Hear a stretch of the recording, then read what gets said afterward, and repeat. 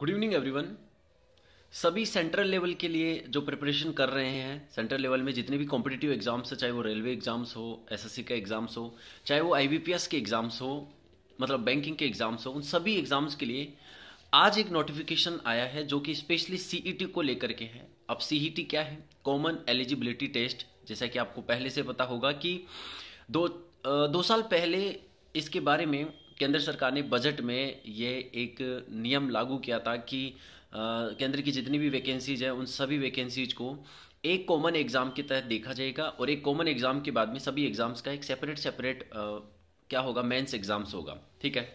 अब इसमें मुद्दे की बात यह है कि आज दो साल बाद में इसका एक नोटिफिकेशन आया और उस नोटिफिकेशन में ये बताया गया है कि इसके लिए एक कमेटी डिसाइड की गई है। कमेटी में कुछ स्पेशल ऑफिसर्स अधिकारी लोग बनाए गए अब वो लोग क्या करेंगे? अपॉइंट हो गए मतलब। अब वो लोग क्या करेंगे कि जल्दी ही इसका सिलेबस तैयार करेंगे। अब सिलेबस क्या होगा, ये किसी को नहीं पता। लेकिन ये ज़रूर है कि सिलेबस के आने के बाद में हमें इसके बारे में जानकारी मिल जाएगी। अब बहुत सारे बच्चों का एक सवाल है कि, सर, क्या सीईटी जो है वो 2022 से लागू होगा? तो दोस्तों, मैं आपको बता देता हूँ कि 2022 में सीईटी e बिल्कुल लागू नहीं होगा, क्योंकि 2022 के जितने वैकेंसीज आनी थी, उन सबके शेड्यूल सबके आ चुके हैं, सबके एग्ज़ाम का कैलेंडर डिसाइड हो गया है।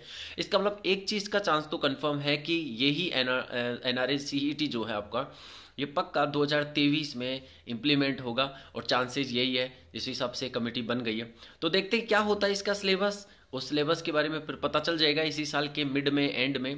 देन आफ्टर 2021 में देखते हैं क्या होता है एनआरएस के सिलेबस के अनुसार एग्ज़ाम पैटर्न चलिए दोस्तों तो ये एक बहुत ही इंपॉर्टेंट इंपॉर्टेंट इन्फॉर्मेशन थी, जो कि आज ही नोटिफिकेशन में पता चला। चलिए थैंक यू वेरी मच